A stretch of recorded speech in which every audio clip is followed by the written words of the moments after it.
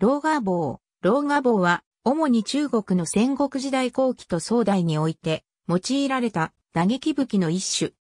狼の牙に例えられるトゲ状の突起物を、塚頭に数多く取り付けた棒状の武器である。中国語では、ローガー棒、英語では、ウルフ、エスティースメース、もしくは、ウルフティースメースと呼ぶ。設計思想上近似の武器として、日本の近細胞がある、ヨーロッパのモーニングスターや、ホーリーウォータースプリンクラーなども挙げることができるが、それらはむしろ片手用や、不評用の赤座骨枝と類似する。起源は、春秋時代の武器、ルマタであるとされる。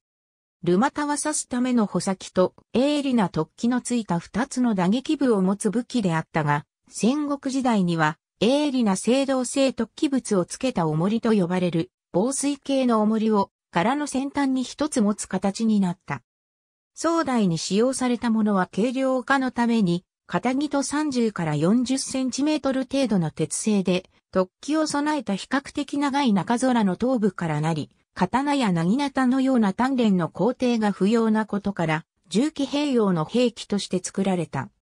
主として、両手用の長江で150から200センチメートルの長さを持ち、重りによる打撃効果とトゲの貫通能力は、金属鎧を着用した相手に効果的であり、重装騎兵の装備として採用されていた。水古伝の交換、新名が愛用したことで有名。